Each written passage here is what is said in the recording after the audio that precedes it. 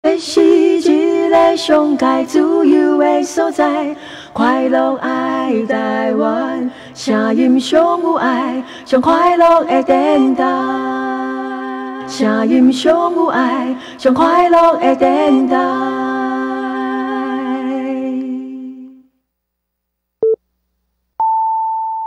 现在时间十八点整，轻松聊时事，诙谐谈政治，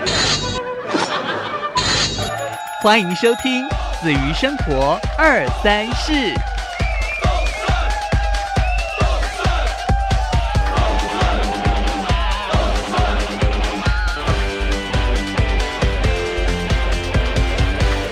各位亲爱的听众朋友，大家晚安，大家好，我是今日的代班主持人谭珠如。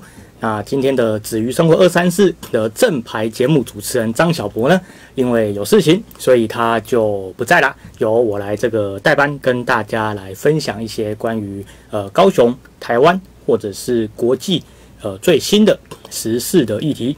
那我知道有很多听众朋友非常的喜欢张小博跟想念张小博，所以不用担心，我们在接下来的节目也会提到张小博，让大家都能够感受到，仿佛他就在你的身边，从来没有离去一样。那今天首先要跟大家来分享的议题是什么呢？哦，就是关于这个昨天在台湾的这个呃艺文界或者是说流行音乐界非常重要的一件新闻消息啦，就是高雄市长补选。那代表民进党参选的候选人陈其迈，昨天呢去参加了大港桥的开幕典礼，并且公布了他最新的一个文化的政策，就是如果他能够顺利的当选的话，他会全力的来协助促成大港开唱的重新举办。那为什么这个消息呃会造成就是呃包括年轻的族群，包括流行音乐界的一个非常重要的关注呢？这当然最主要就是在于说，大港开唱，它其实是呃对整个台湾哦以及高雄的流行音乐产业来讲，已经有一个指标性的品牌的意义在那边了。大港开唱一直到二零一八年、一九年的时候，已经举办了十年以上。虽然说中间呃有一度哦因为这个举办活动真的很困难呐，然后停办，但是绝大部分的时间都在民进党在高雄执政的时候。全力的协助跟推动，让这样的一个文化的音乐季可以陆陆续续哦顺利的每一年都基本上能够来过举办的这个成果。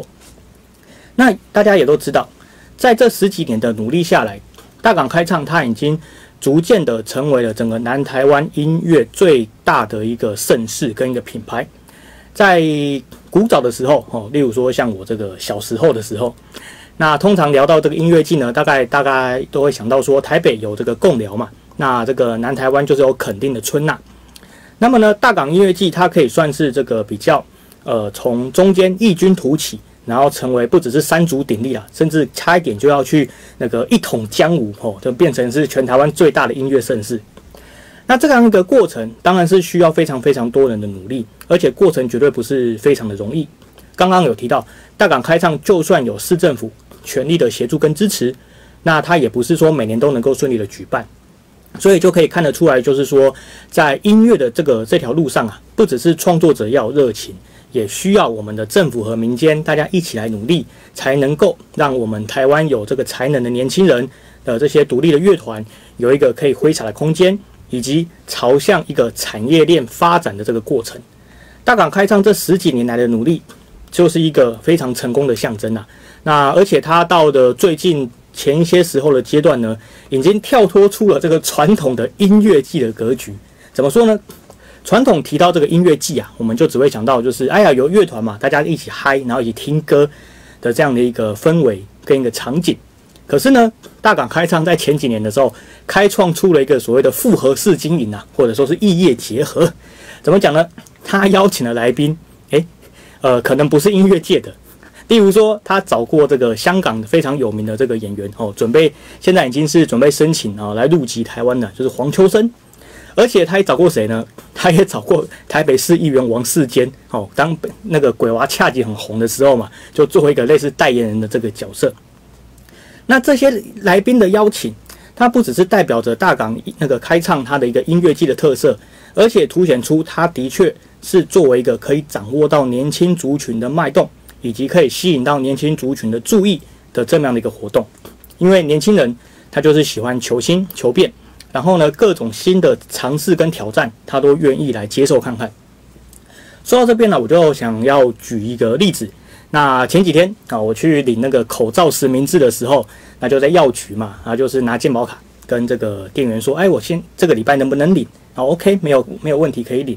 那店员在拿给我之前，就提醒了我一下，说，哎，这个款式比较少见哦，你能够接受吗？是紫色的口罩。我一听就觉得说，哎，OK 啊，越少见的越好。为什么？因为平常大家如果都是戴那种。很一般的那种外科手术用的口罩，那就是浅绿色的嘛。又或者是说一些比较常见的款式啊，这样就比较要怎么讲，比较没有特色嘛，对不对？毕竟口罩戴在这个走在路上啊，或者是骑车，它某种程度上除了帮我们挡那个灰尘哦，防治武汉肺炎之外，更重要的功能就是怎么样，可以诶帮自己的这个打扮可以多一些变化。所以听到有紫色的口罩还是立体的，哇，这真的是很少见，立刻就拿了。好，就变成说是一个那个意外的插曲了。那后来呢，我把这个口罩的照片哦放到那个脸书上面去，果然下面就有很多同好就来留言了，就说哇，好漂亮哦，好想要，或者或者是说我怎么都没拿到，那就让我想到更早之前啊，那时候就是刚好在台北，那去领口罩，领到的是豹纹的口罩，哇，都是一些隐藏版跟特殊版的。那举这个故事呢，并不是要强调说我个人也很年轻啊，哈，虽然这也是目的之一，哦，这个是偷渡的。那最主要是要做一个例子，就是年轻人的特色，他不一定是他在这个生理年龄上面的年轻，更重要的是他的想法是愿意去接受一些新的挑战，愿意去突破他原本有的这个框架，然后呢去找寻一些新的可能。那也正是因为年轻人独有的这种冲劲跟这样的一个想法，让社会上有很多的创新是可以得以实现的啦。那很多时候呢，大家都会觉得说，哎，年轻人不错啊，为什么不错？就是他们敢挑战嘛，敢失败，然后呢，在这样的尝试之中，打造出一个新的可能，让我们社会更进步跟更好。所以在这样的一个前提之下，年轻啊，它就不是一个单纯属于你的生理状况的年轻了，而是说你的心有没有跟着这个时代的、跟这个社会的脉动一起去保持这个进步。那从这个角度来看，哎，刚好又搭到了。哦，这个高雄市长补选最近很热门的一个议题，就是为什么忽然之间每个人都在比较说，哎，你比较老，你比较年轻，你是叔叔哦，忽然之间会觉得说，为什么好好一个市长补选，莫名其妙变成了这么一个议题？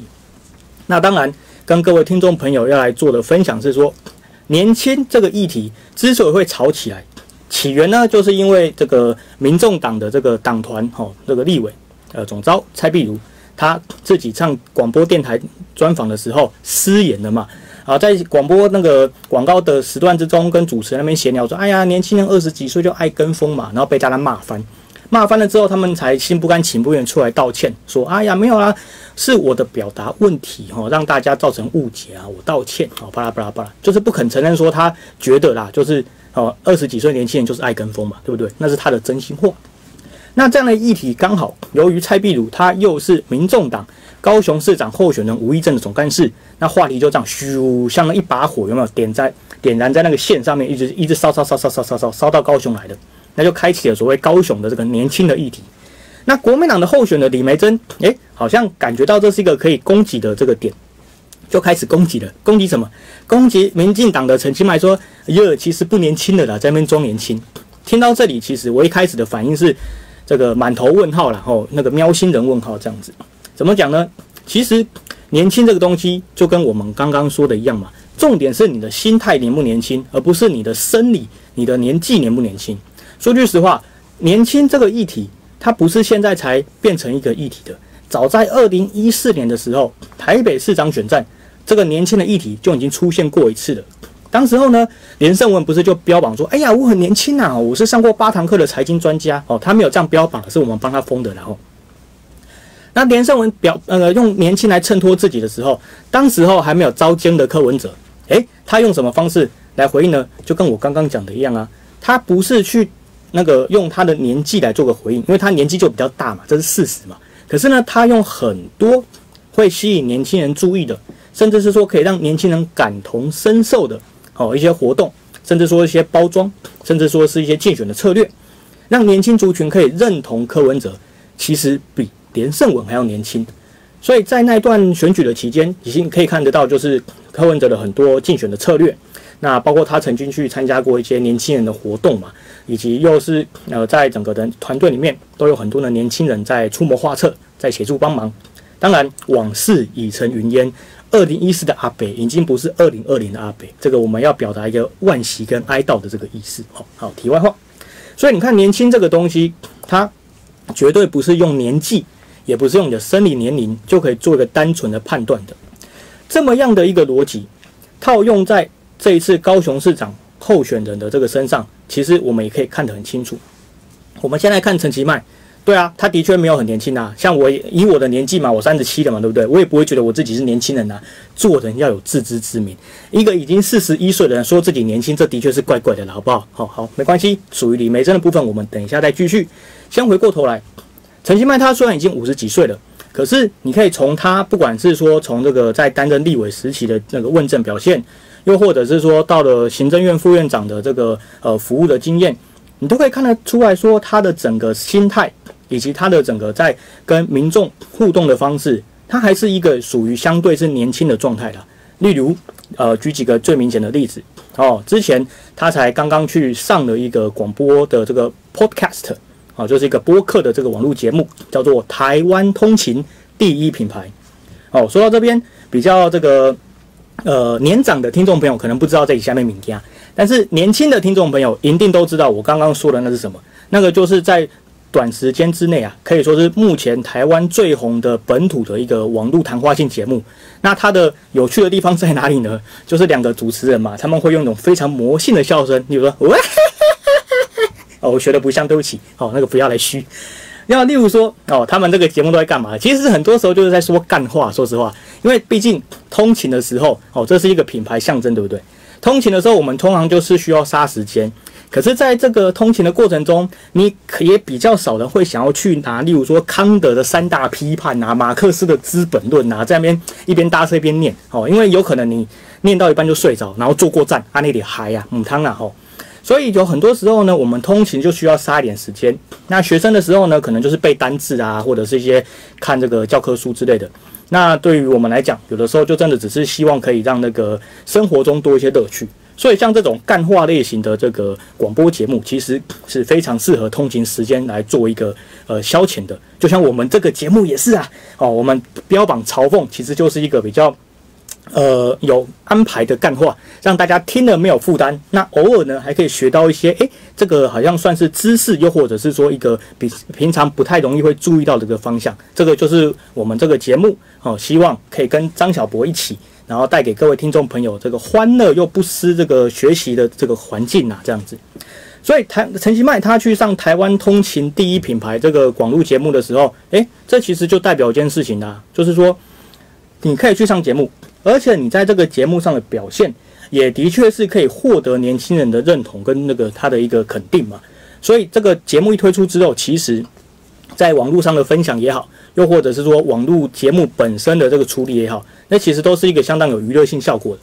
更重要的是，因为他已经离开了这个行政院副院长的位置，现在的身份比较自由了，所以呢，在这么一个属于干话类型的节目上呢，他可以比较展现另外一个大家看不到的他。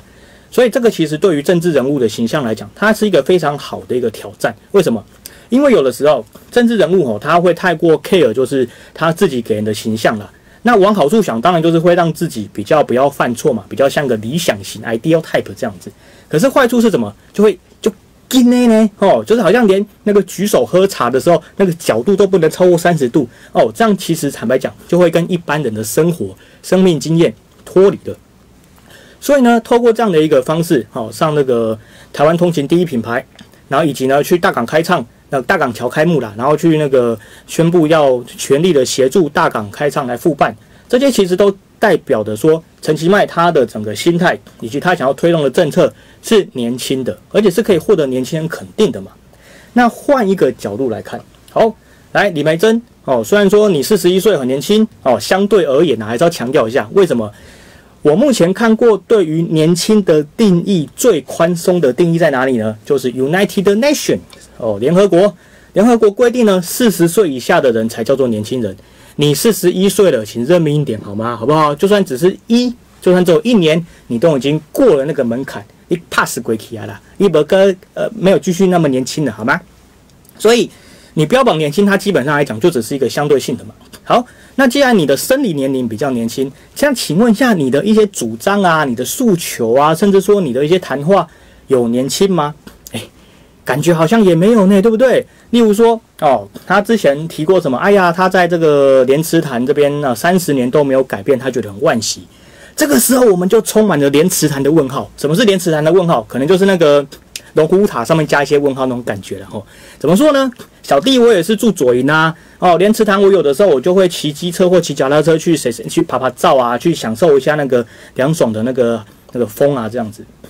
那莲池潭它到底有没有改变？其实有诶，姑且不论别的哦，我光大概在一个月前吧，哦，诶，没有，其实没有到一个月前哦，两三个礼拜前而已。我就骑脚踏车啊，去那边拍拍照啊，然后我就看到什么？诶，它那个靠近那个交通那边的那个主要干道嘛，那一条路的旁边，它有什么水上游乐设施？诶，那个游乐设施，而且还是比较刺激的那种什么气垫城堡类型的。那在另外一边有一些游艇啊，这些这个设那个船的设施可以做一些训练。那更重要的是什么？诶，我是骑脚踏车去的，那我要怎么样横跨哦这个交通非常繁忙的那一条那个台十七线？然后到达这个莲池潭呢？诶，我骑脚踏车，我骑脚踏车的专用那个人行那个高架桥呢？那这个高架桥三十年前有吗？当然没有嘛，是谁盖的？陈局市长啊。所以你从一个在地居民的一个亲身体验，就可以整个打脸李梅珍说的莲池潭三十年来都没改变。那这个很明显就是一个怎么样呢？就是他的哦，李梅珍所设定的一些议题，它是跟现实脱节的。那这样有什么功能呢？其实坦白讲，他就只能去吸引到那些跟他一样都没有在注意高雄到底产生了什么变化，然后呢，只会活在自己世界里面的支持者。简单来讲，哦，就是去去去召唤韩粉呐。因为呢，李梅珍到目前为止，他有一个非常大的战略的缺点是什么？他的战略设定里面，包括他的议题，包括他的言论。他都有意无意的忽略了韩国瑜曾经执政过的这个事实，所以你会发现他很像是一个在野的挑战者。然后呢，就东那个到一个地方就说啊，这边以前这边都没有怎么样啊，然后到那边又说那边又没有怎么样，就像莲池潭这个案例嘛。可是这些东西你都不能忽略一件事情哦，韩国瑜当过市长诶，所以你说莲池潭三十年来都没有改变，那请问一下，你除了打脸到陈局哈，就要给你打了好不好？那你是不是也打脸到韩国瑜呢？对不对？所以你就可以发现说，这是李梅珍跟国民党他们在这一次高雄市长选战中一个非常严重的问题。他们面临到不知道要怎么样去扮演一个“哎呦，我们自己人也当过市长”的咨询的方式。他们还是把自己定位在说，那是一个陈局常年执政，或者说民进党常年执政，从来没有国民党存在过的那么一个时空环境。所以一昧的一直去用一种批评的方式说：“哎呀，你看你们进党都没做事。”好，假设你的前提论证是成立的，那就必然的也要去面对说，那你韩国瑜执政的时候你干了什么事情嘛，对不对？那你一直说路平灯亮水沟通，OK 啊？好，那我们在接受你这个前提之下来问一下，那连池潭你韩国瑜有没有做过改变？哎呦，那这样的话不就是要么你就李梅珍你要承认哦韩国瑜没做事啊，要么就是李梅珍你就觉得说你打脸自己嘛，对不对？你所以他就陷入了这么一个二选一的困境里面。那这个其实从李梅珍被征召要到参选到现在，我们可以一直看到他不停的在犯下这个过错。那当然，这个就是他包括本人的候选人特质以及整个团队都面临到了最大的问题。那么回到年轻的这个议题，你可以看得出来，李梅珍他的一些言论，他的一些表现，他真的看不出来到底年轻在哪里。说实话，就连吴亦珍都比他感觉到年轻。像大港开唱这个最明显的。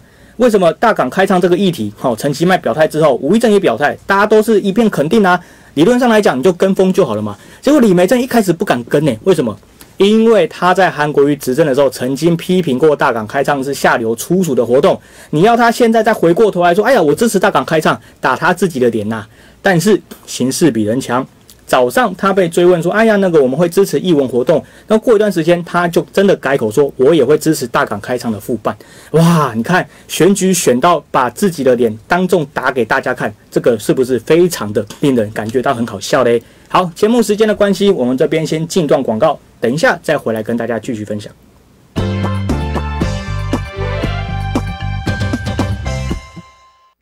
暑期打工季节来临，为维护暑期工读生之工作安全及保障取等权益，劳保局提醒投保单位，应于暑期工读生到职当日办理参加劳救保及提缴劳工退休金，并核实申报投保薪资及劳退月提缴工资。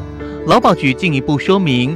投保单位于暑期工读生到职当日申报其参加劳救保及提缴劳工退休金时，请填写劳保劳退二合一加保申报表；仅参加救保单位，请填写救保劳退二合一加保申报表，寄送劳保局办理。有劳救保投保薪资及劳退月提缴工资，请按其每月实际工资总额核实填报。劳保局会依劳工保险投保薪资分级表及劳工退休金月提缴工资分级表之规定，自动归级为适当等级。如所雇用之工读生为部分工时人员，申报加保时，请务必于加保申报表上注明“部分工时”字样，以利正确计收劳救保保险费及劳工退休金。而从事两份以上工作的工读生，如服务单位都属于劳保强制投保单位，例如雇佣员工五人以上的公司、行号，各雇主均应为其办理参加劳保；又如服务单位皆适用劳动基准法。各雇主亦均应为其提缴劳工退休金，工读生也可利用自然人凭证、邮政金融卡、劳动保障卡、电话及临柜办理等方式查询雇主有没有帮自己加保及提缴劳工退休金，以免权益受损。查询管道的相关资讯，可至劳保局全球资讯网查阅。以上为劳动部劳工保险局广告。快乐台湾，精彩无限。快乐联播网，欢迎邓来子瑜生活二三四，我是天涯里的代班主持人陈子瑜。那我们正牌的主持人张小博呢？他今天因为有事，所以今天、明天都会由我在空中来跟大家做一些时事议题的分享。那上一段的节目呢，我们提到就是高雄补选的一些相关议题啦，特别是大港开唱，然后也提到了这个年轻他的一些相关的讨论。那说到这个，我就想到，其实，呃，年轻哦这个议题，他在之前哦，台湾激进的党主席陈义奇就很强调一个概念呐，就是说重点不是年轻的肉体，是年轻的灵魂跟年轻的想法。那从刚刚哦，陈其迈跟李梅珍两个候选人，我们就可以清楚的看见他的一个差别在哪里了。你可以身体的年龄变老，这是你没有办法去改变的嘛，对不对？这个老天就是给我们会变老的身体。但是呢，你可以让你的心 不停的跟着时代来改变，跟着时代来进化，然后呢，一直维持在这个时代的前端呢，哈，这个知而所思，为民前锋了，这个应该是这个概念，然后，那么呢，跟年轻人在一起，然后可以让你自己更有一个新的想法，也不会被旧的一些习惯跟观念给束缚掉。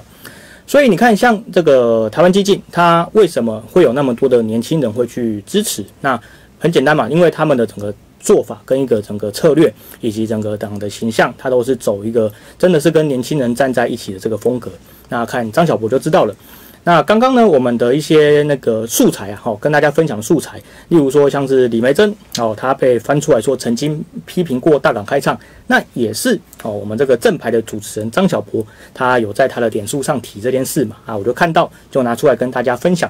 因为我知道很多听众朋友很想念张小博，那可惜他现在不在这边，所以我们就用那个朗诵他的脸书文字的方式，让大家认为就是感觉到张小博还是在你我的身边。只要我们抬头看看夜晚的星空，就可以看到他的微笑，跟在我们旁边一样，哦，对不对？那张小博，我知道他可能现在还在有在听我们节目呢，哈，赶快上脸书来跟大家问个好，这样子。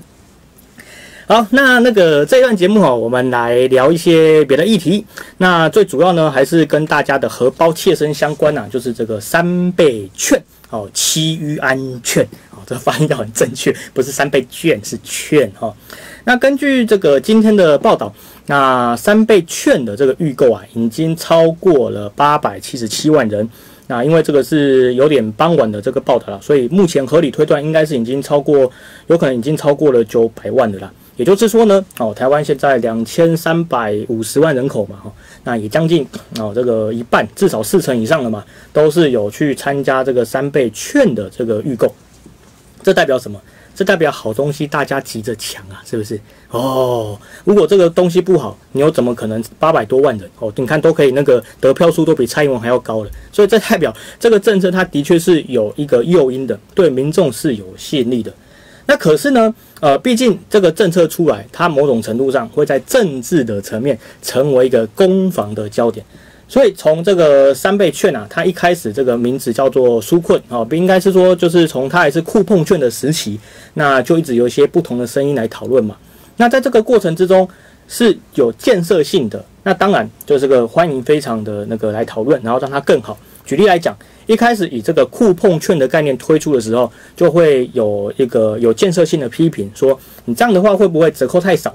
然后比较没有办法达到说让大家愿意多花钱的诱因，因为酷碰券是什么？酷碰券是你要花很多，然后呢，你的折扣才会多。简单来讲，你要先花，假设说都是一万块哈，你要先花到一万块，他再退给你这些一这笔钱。所以对于那些真的想要去振兴消费的这个目的来讲，其实它的方向是有一点呃没有那么准确了，因为这毕竟是你的着眼点是你会拿回来比较多嘛，而不是说你可以花更多哦，那个概念不太一样。所以呢，那个当时候的行政院在接收到了这样的一个意见之后，就从善如流嘛。除了酷碰券的这个概念哦留着之外，它就变成了我们现在看到的这个所谓三倍券它的雏形。又是什么说什么呢？三倍券的概念是说，你先花一定的钱，然后政府给你更高的额度，让你可以花更爽。所以就变成说，一千块你先拿出来，然后呢，你就可以花到三千块的额度。这是不是就跟之前的哦，你要先花一千块，然后再退给你钱，是完全不一样的概念的嘛？所以这代表就是说，呃，民进党政府啊，它的一个特色啦，说实话 就是你骂了他有用的哈，诶，惊红狼狈啊吼，你骂到他怕，他就会去做修正哦。那个虽然听起来有点好玩，可是这就是民主国家的常态啊，一个会听民意的政府。不就是一个民主国家所需要的政府嘛，对不对？难不成你要像隔壁那个国家嘛？哦，那个不管什么长江洪水啊，还是什么香港反弹，反正我国安法就是要推哦啊，那个洪水就是洪水，跟我什么事都没有关系，是不是？所以呢，台湾的这个现象啊，虽然说民主国家有的时候哦会吵了一点，但这个吵是有用的哦，因为这个吵的过程之中，那你说白了，政治人物为了选票啊，为了继续能够执政，当然就会比较。哦，愿意跟人民来做互动嘛，对不对？这个就是民主国家真正的意义啊。好，回过头来，三倍券啊，它预约已经超过了八百七十七万。那其中呢，有超过八成的以上的民众是选的是实体的那个实体的纸本券然后，那当然也是有人选那个呃数位绑定的这个模式。那这些其实都很好，因为为什么？因为这代表什么？你要先花钱。哦，不管你是数位绑定的，还是你是实体的这个纸本券，那你做这个动作之后呢，基本上你就是会想要去哦去消费嘛。那这个消费的过程，还是必须要再跟大家来分享一个概念，因为很多这个关于三倍券的这个讨论啊，一直到现在都还是把焦点放在说，诶，有的人呐，哦部分的啦，就是说为什么不直接把钱给一般的民众？哦，不为什么不直接发钱？哦，我要再跟大家来做一个报告，就是这个政策的目的，它真正诉求的对象不是我们这些花钱的人哦，诶，这不是跟大家接收到的资讯很不一样？这个政策真正的目的是要去帮助那些过去因为武汉肺炎的疫情生意变得很差的人，所以从这个角度来看，你就会发现说，诶，这个。政府的施政，它就出现了所谓的三个阶段。第一个阶段叫做什么？第一个阶段叫做防疫嘛。你总不能让武汉肺炎进来呀！你一进来，你真的什么，你也不用纾困，不用振兴啊，你就整天待在家，你都不敢出门的啊！整个经济跟国家都会非常的惨，像现在其他国家一样。所以防疫是第一优先，但是在防疫的过程中，一定会造成损失。什么损失？就是经济的损失，因为我们的防疫措施越严格。也就相对代表着说，我们就是会减少人跟人的接触嘛，所以呢，哦，这个经济活动哦，特别是旅游啊、观光啊，或者是一些，甚至你连出去那个跟人家有接触的行为都尽量的减少。哦，你看我们一开始不是在延后两个礼拜开学吗？现在呢，就是变成 延后两个礼拜放学了嘛，对不对？哦，那个放暑假了，这个就是防疫的重要的目的。那接下来，OK，好，你防疫防到一个程度之后，一定会出现说靠腰，我没有生意了，怎么办？哦，我生意做不下去了，这时候就需要先帮你渡过难关，这就是纾困的概念。纾困它的目的不是要让你过好生活，而是要让你这个生意可以勉勉强强的维持下去啦。举例来讲，用成绩来计算嘛，你平常可以考到八十分，对不对？哇，你跑步很厉害，可以跑跑八十分。那因为你得了一场病，或者是说这个身体有一些不适，受到影响，所以你可能哇，糟糕，没办法跑到八十分。不要说八十，你连六十都跑不到，被当掉怎么办？不行啊！所以政府就来帮忙，让你至少哦可以维持六十分的水准哦，就是让有及格啦，这个生意可以撑下去。那等到。疫情控制到一个程度的阶段，就像我们上个月哦，终于宣布解封了嘛，对不对？那大家的生活相对的可以恢复到比较正常的范围啊，高铁跟台铁都可以吃便当了，这样子。当生活渐渐恢复正常的时候，诶，接下来是怎样？就是要在赶快在短时间之内，让我们的经济开始活络起来。简单来讲，你可能之前因为这个武汉肺炎的疫情的影响，你饿肚子饿了三餐，我靠，请假去就腰呀，对不对？那开始可以正常进食的时候，你要怎么做呢？当然就是多吃一点，把之前没吃到的补回来嘛。所以三倍券的概念就是把那个消费券啊，好，把这个三倍券透过让人民去预购的方式，然后呢，政府再另外补齐那个补足两千块的额度，然后去让这些中小企业甚至是一些小商家能够哦，就是多卖一些东西出来。让他们在短时间之内可以把过去的损失给弥补住，让这样子呢，让我们的经济可以恢复一个相对正常的状况。这个其实才是三倍券真正的目的啦。所以呢，这个话题我们又拉回到了这个某个非常厉害的，也不用某个啦，我们一向很喜欢点名哦，就台北市长柯文哲嘛。他之前不是才出席论坛说什么？哎呀，现在最重要的目标不是什么防疫纾困振兴，而是什么防疫纾困转型。哦，说了一副头头是道，还说什么不服来辩，哦，什么有头有脸的经济学家巴拉巴拉之类的。这个东西，哦，我们会用另外一种角度来分析。但是现在先正面的先回应他的这个言论。其实啊，柯文哲这个言论，哦，他某种程度上来讲，他的那个最后一趴，他的用词的改变，其实正正好就是他整个论述最大的问题。OK，你要防疫，这个同意吗？他也同意啊。你要纾困，同意啊，他也同意啊。那接下来你要转型，诶，这个就回到我们刚刚用一个生病的概念嘛。当你一个人之前生了一个一场大病的时候，你要恢复嘛。那你恢复之后，你还是要补足元气，对不对？啊，如果说纾困是让你的身体慢慢慢慢的恢复的过程中，那这个振兴就是让你赶快变成大补丸，好，变得跟以前一样正常健康的这个模式。接下来你为了担避免下一次的。再生病，所以你会怎么样？会让自己变得更加健康强壮嘛？例如说去做重训啊，哈，或者说改变饮食习惯啊，这个叫做转型。所以柯文哲的动作，他问题出在哪里？他就是把理论上最完整的应该是四个阶段，他硬生生的砍掉了一个阶段，然后变成三个阶段而已，就是你有点那个揠苗助长，或者是说，诶，忽然之间跳级哦，越级打怪的这个概念。所以其实柯文哲他说的某种程度上是没有错的哦，可是他。忽略了这个的振兴的阶段，所以我们可以看到，在整个台湾从武汉肺炎疫情一直到现在，它所要面临到的挑战其实是四个，一个叫做防疫，一个叫纾困，接下来是振兴，最后才是什么？最后才是转型。哦，所以柯文哲他刻意的把那个振兴拿掉，塞进去转型，在某种程度上来讲，就是一种这个忽略了必要阶段的做法了。那当然，为了为了是什么呢？因为他要打振兴券嘛，他一直说振兴券没用没用啊，所以干脆直接转型哦。可是这个从一个正常的一个疫情康复的这个呃阶段来讲哦，他是刻意的省略了必要的阶段。那接下来呢，我们要跟大家分析的是一个这个如何破解科学啊哦这么一个桥段。那什么叫科学？科学就是柯文哲他的一个政治操作的手法。那当然，有些很关心政治的听众朋友，那例如说像常听我们节目的，或者是听张小博怎么分析科学家的这么一个听众朋友，都清楚说柯文哲最大的问题是他常常哈在骂完的人之后，才发现说，哎，你怎么做过完全不一样的事情？例如说他骂振兴券，哎，结果台北市加码呢，哇，怎么办？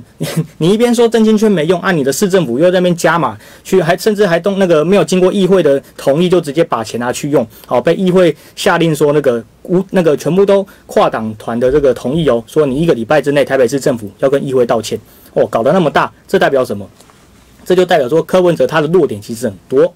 那为什么柯文哲他还是一直坚持着就是用这种话术来攻击这个民进党呢？很简单嘛。因为现在柯文哲啊，他的战略的总体目标来讲，就是白色不是，他要慢慢慢慢的白中透蓝呐。那由于在过去几波的民调，特别是说从他在二零一九年年初啊，哦那时候他的民调很高哦，就是呃不要说韩国语了，蔡英文就更不用讲，其实民调都是输给柯文哲的。然后在二零一九年年初的时候，可是就因为柯文哲他的整个呃荒腔走板的。选举的策略的操作跟政治的操作出了问题，所以他的民调就一路往下跌跌跌跌跌哦。然后特别是关键时刻点是什么？关键时刻点就是那个他在二零一九年年中的时候阻挡了嘛哦，台湾民众党出来，那是更使得他的整个政治的声势继续往下探底，一直探到了今年的年初的总统大选哦。最后呢，就是一个五席立委的一个党团的这个状况，而且也没有区域立委啊，都是不分区的。那在这个情况之下，那柯文哲他就面临到一个，就是他已经被这个所谓本土派的选民，或者是说民进党哦泛民进党泛绿支持者的选民，就是一个几乎是完全唾弃的状态了。那在这个情形之下呢，他要怎么样去巩固他的支持基础呢？OK，他就是反其道而行，他不是说再去争取绿的支持，而是说没关系，我就尽量让绿的尽量来骂我。为什么？当民进党的支持者骂柯文哲的时候，谁听起来会很爽？哎，没错，就是国民党的支持者，然后以及这个所谓这个厌恶国民党也厌恶呃民进党的支持者，就所谓的所谓这个中间的选民呐，跟泛蓝的选民，因为当柯文哲用这种方式去占据了媒体版面的时候，当然我们都知道说，有时候你可以理性讨论是很好的事情啊，啊，有的人看政治就是看个爽啊，对不对？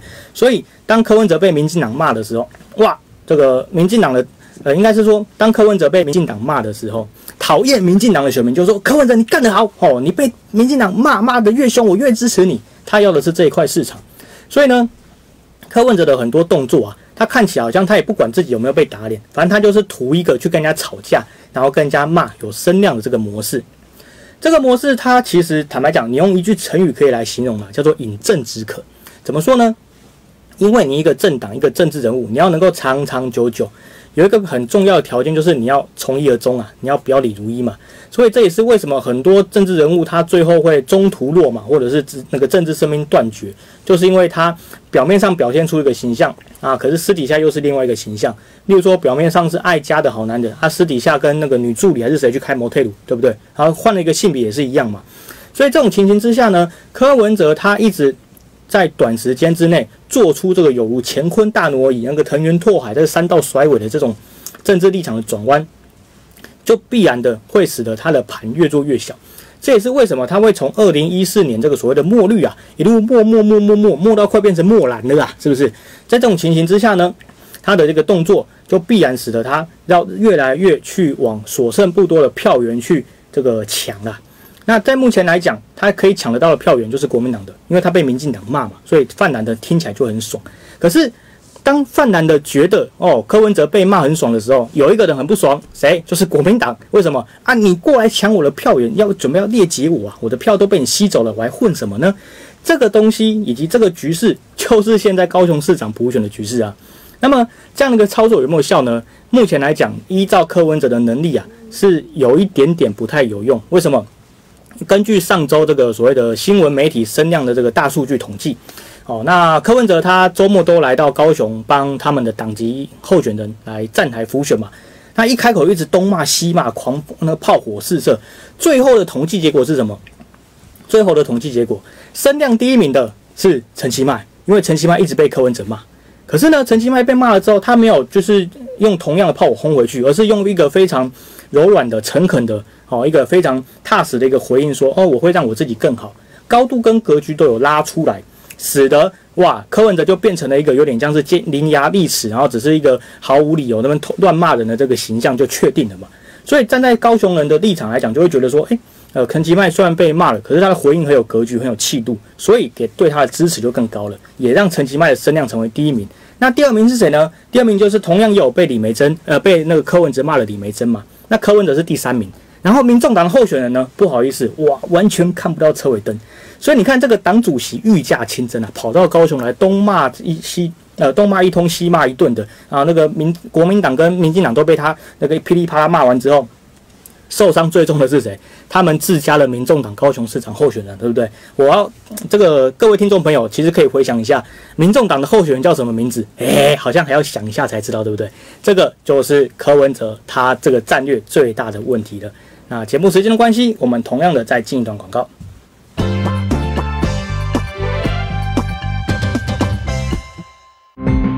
快乐联播网。快乐狗狗饼九七点五，快乐混家南九二点三，快乐大台中。八九点五，快乐大台北。八九点三，快乐华东九八点三，快乐平湖九六点七，快乐红虾。九一点三，快乐台湾精彩无限，快乐联播网。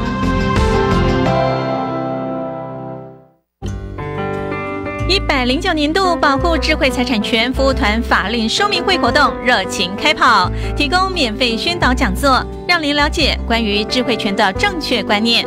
欢迎工商企业、政府机关、国营事业及各级学校报名申请，详情请电洽零二二三六六零八一二转一二七。以上广告由经济部智慧财产局提供。身边时事，掌握社会脉动，请听你的声音。最用心的电台，提供给你最丰富多元的讯息。无论是选举第一线报道、全国性议题、地方性议题、社会关怀等，你们的事就是快乐的事。希望大听众听到底呢？快乐联播网。咱每一个人的信念，拢会当帮助这个世界。想要平安健康，只要有心。大家拢会当顺利，只有一个介好的方法，就是这张回向文，回向互咱家己的冤亲债主、祖先，免费甲你结缘。零七三三五四二三三，零七三三五四二三三。这是一个上界快乐的所在，声音上有爱，上快乐的电台。快乐台湾，无限精彩！快乐联播网，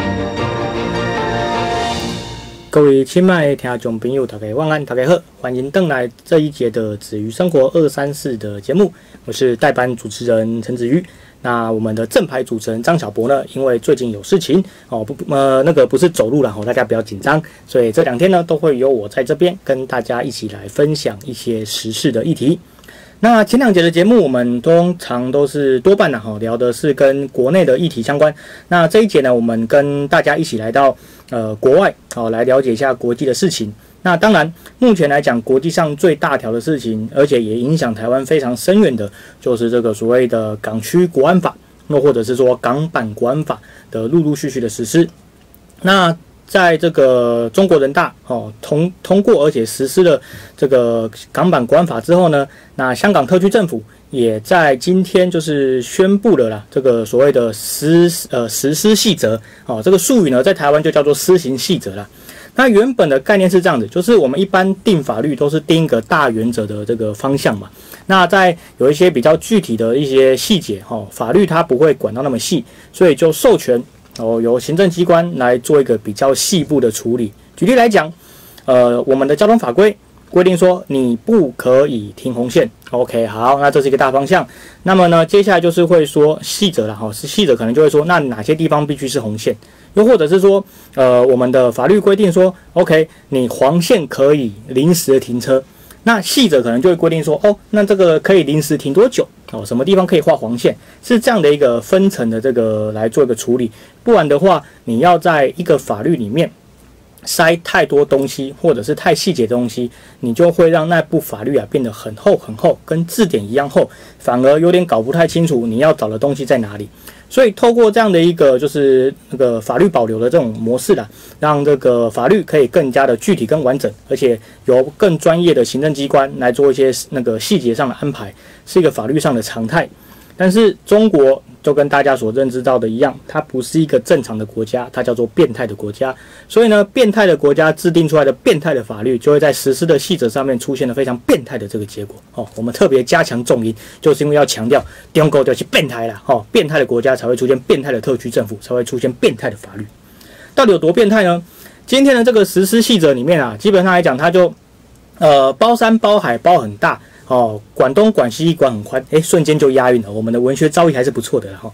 那明明是细则，细则就是说给有一些法律没规定到的那个比较琐碎的东西，让细则来处理嘛。刚刚有跟大家介绍，但是不是哦？哦，这个港区国安法它的实施细则是好像是那个呃我们的那个人造卫星一样，它可以把我们的地球整个都拍进去哦，整个全部的地球都是它的管辖范围。那里面为了去帮这个中国政府哦圆谎，什么谎呢？就是中国政府跟香港特区政府啊，他一直去强调，就是说香港会有反送中，都是你民进党的阴谋啦，都是你台湾在背后操控啦。我靠，台湾有那么厉害的话，我们早就独立了，好不好？谁还跟你去搞反送中？我们直接把习近平推翻了，谁还跟你去搞反送中了，对不对？而且如果真真的那么厉害，我们也不用搞反送中啊，我就直接让香港独立就好了，是不是？所以呢，中国政府啊，他为了要去那个去圆谎，好，香港特区政府也是去那个把一切的罪罪过跟阴谋都是民进党的错，哦，往这个方向去处理。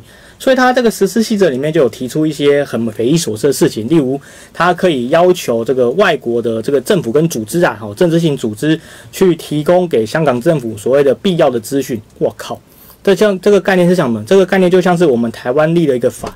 然后里面规定说呢，哦，台湾政府可以要求美国政府提供必要的资讯。听到这句话，正常人都只会有三个字的反应：神经病。然后再有另外一个三个字的反应叫关电视。所以你就可以看得出来，港区国安法到这个国安法的实施细则里面，充满了一种自卑转自大的这么一个心情啊，就是说他知道哦，事情全部都是伟大的中国共产党一路搞出来的。但是面子上又挂不住，你总不能要求一个一直标榜伪光正的共产党承认自己犯错嘛，对不对？那就可以下台了。所以呢，为了巩固自己的面子，然后把过错多给都往人家身上推，才会出现这么一个很扭曲的法律哦。那个还管到人家外国政府，甚至还管到一些哦，就是莫名其妙的事情。而且里面啊，这个它有一些法条非常的可怕。什么可怕呢？就是你在。必要的时候，你可以去检举人哦。检举什么？我怀疑他的财产可能会危害国家安全。哇，原来今天我有一辆机车，我也会危害国家安全。原来今天我在这个哦，例如说我在这个台北有一栋房子，哈，我在荃湾有一栋房子，这也会危害国家安全，然后我就会被检举了。那香港特区政府可以做什么事情？哦，你有危害国家安全的嫌疑嘛？所以我要暂时扣押。我靠，这个不就是以前那种告密然后领赏的这种特务的模式吗？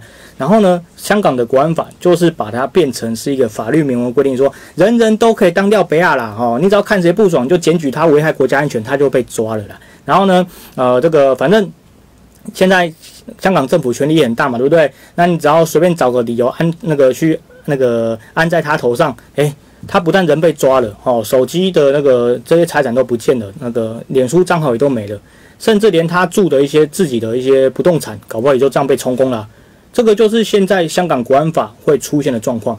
那这个东西有人会觉得说啊，我就没做啊，我就那个怎么呃，平时不做亏心事，夜半不怕鬼敲门嘛。但是不要忘了哦，中国政府跟香港特区政府这个国安法，它已经不是鬼敲门的程度，而是鬼破门而入了，好吗？他也不管你自己是不是门有锁起来，他就一脚把那个门踹开，然后把你的人带带走，然后把你的房子呢变成他的这个财产。所以，在这个实施细则的施行之下，最有利的是谁？就是现在有一批要帮香港特区政府跟帮中国政府当走狗跟打手的这些表面上叫做维持治安的人员呢？为什么？因为他们就有权利可以来认定说，哎，你有没有违反国家安全？哦，你的那个佩佩猪的玩偶，我违怀疑他违反国家安全，我要查扣。诶，这完全是可以出现的现象哦。那么呢？财产是如此，啊，人就更不用说了嘛。啊，你也想想看，那些不知道从哪里来的哦，帮香港特区政府跟帮中国政府去维持国家安全的这些人，他们跟香港没有任何的地缘关系，从外面调进来的时候，他会把香港人当人看吗？不会。所以这些人会怎么样？哦，路上看到漂亮的，来有嫌疑带走。这个反送中期间已经出现过太多次了。那有非常多年轻人的尸体，哦，就是这么一个莫名其妙的哦，全裸的哦，坠楼。然后香港警方说死因无可疑。我靠，这一个人的智商到底要堕落到这种程多少程度，或者是残缺到多少程度，才会觉得一个全裸从高楼上跳下来的人死因无可疑，对不对？中国政府就是敢这样搞给你看。所以在这种情况之下。香港人的生活，或者说他们的生命财产安全，已经不像是英国殖民时期可以获得基本的保障的，而是随时都有可能在中国政府还有香港政府的一声令下，或者是说这个看的看对眼的情况之下，要你缴出来你就缴出来。所以现在香港人他们的反抗已经到了一个很令人遗憾的程度了，是怎么讲？因为它真的是非常的荒谬。现在呢，香港他们就想要去表达一个抗议的诉求是怎么样？他不是上街举标语，因为这个已经都不行了哦。你那个连时代那个光复香港时代革命，这个你都会被抓去，就是有港独的嫌疑啊。哦，像我这台电脑如果一入境香港，一定立刻被没收，因为它上面就有贴个贴纸哦，光复香港时代革命。那香港人他们的反抗是什么呢？他们就号召一群人拿什么？拿一堆白纸走在路上，或者说在街头上，就是站着示威抗议。为什么？因为这个脉络啊，它来自于一个冷战时期的一个非常古老的笑话。那古老笑话是这样子，就是有一个人呐，他就是在这个苏联铁幕的统治之下，然后他就是表达不管怎么样的抗议，他都会被警察取缔嘛，哦，那个被那个呃治安人员取缔。所以有一次呢，这个人他就真的什么都没有拿，或者是说他拿的东西上面什么都没有写，就是一叠白纸。然后他就走到了警察的面前，他就看说：“哎，我什么都没有写，我看你能不能逮捕我？因为他都没有表达任何的意思的。”当时候呢，那个警察就回复这个抗议的人说：“呃，虽然你的纸上面什么都没有写，但是我知道你想表达什么，就把人给抓走了。”所以，这么一个在冷战时期、哦苏联时期的这么一个笑话，呃，冷笑话，我真的很冷，而且也是就是很荒谬。那活生生的出现在了二零二零年七月七号的香港。这代表什么？这代表就是你中国所谓的这个“一国两制”假的哦，中国要和平光荣呃和平崛起假的，你中国要保障香港人民的生活方式不变假的哦，香港人已经在没有办法选择的情况之下，被迫用他们最后的一个行动来跟全世界的人说，千万不要相信中国的。任何承诺，因为那个都是不算数的啊，这也是很符合中国优良的传统了，特别是那种酱缸文化嘛，对不对？那个台湾以前有几个呃深知中国习中国人习性的这个作家，例如说像博洋哦，他就写过《丑陋的中国人》，里面入木三分呐，呃，有兴趣可以找来看一下。所以其实香港的局势对台湾最重要的一个意义，就是在于说，中国它到底是不是一个值得信任的国家？不是哦，而且。中国的这个动作更证明了一件事情，就是中国内部的局势已经严重到他没有办法去假装让香港维持一个一国两制的表象了。因为假设中国它现在的国内局势是稳定的，是强大的，OK，它当然就有非常多的资源跟甚至是一个这个能力，哦，去让香港维持一个一国两制的一个假象嘛，对不对？我们现在看起来是假象的嘛。可是呢，当中国的内部局势严重到一个程度，对立到一个程度，紧张到一个程度的时候，诶，他不演了。为什么？他没有那个能力再去维持香港一国两制的假象的。他必须优先的去控制他自己的一个领导权跟一个所谓的政权的稳定。啊，姑且不提别的吧。你看像长江，哇，那个三峡大坝那件事情，哦，那个洪水淹得多严重。那接下来又有像是这个。鼠疫哦，内蒙古出来的鼠疫啊，南蒙古，然后还有那个会猪传人的这个一些新的病毒，你会发现到说，当这个情况再加上国际大环境，就是美中贸易战，还有武汉肺炎，哇，种种的这些局势，使得中国国内的情况越来越不稳的时候，它就会转而是一个赤裸裸的现实主义的考量，是什么呢？就是我不管你外面怎么骂了，我也不怕你骂了，我就是要让香港这块土地。是中国的，而且没有人任何人可以去改变这个决定。这个就是传说中哦，台湾常常听到的被恐吓的句子，叫做“留岛不留人”呐。所以现在中国呢，它就是透过这种港版国安法的实施，要去让香港真的是留岛不留人，留下来的只会是中国认可的人，而不是现在的香港人。那这就代表一件事情，就是呃，中国啊，它的整个国际的这个展现。随着这个之前“一带一路”的受挫嘛，然后美中贸易战，然后华为现在也遭到包括英国跟法国的陆续的抵制，那使得它在国际上的威望已经一落千丈。虽然说现在其他国家也都是面临到武汉肺炎的非常严重的挑战，可是对于中国来说，它的问题就更严重了。因为中国它是作为一个世界工厂崛起的，所以它的一个初级的一些商品哦，或者是一些低阶的消费品，它是非常的。仰赖贸易的稳定，这样他们才有钱赚嘛。当整个环境大这个大局势都已经不不利于他，而且各国也都有意无意的吼，就是明摆的要去贸易制裁的时候，他东西就算制作了也伸不出去，这就会造成国内经济的非常严重的影响。所以当国内的局势局势越来越乱的时候，他当然就再也没有能力去维护一个表面上的假象。所以他现在情况很明显，就是说，OK，香港我也不演了，好，我就是跟你说我。共产党的做法就是这样子。那他接下来，既然香港这个样板不见了，他就会更赤裸裸的去来处理哦台湾这一块的状况。所以台湾的民众就是千万不要再对中国有抱持任何不切实际的幻想。你越抱持的幻想，你的下场就只会比香港人更惨。那香港已经用他们的生命哦，跟他们的一个现况来跟我们展现，就是说亲中到底会有什么样的一个结果。那我觉得作为一个台湾人。特别是作为一个有正常的判断能力的台湾人，还要再去亲中，那的确是一个令人相当没有办法接受跟匪夷所思的情况了。那我相信有很多听众朋友也是跟我们有一样的想法。那由于节目时间的关系，今天的节目要在这边告一段落。那非常感谢大家的收听，我们明天再见。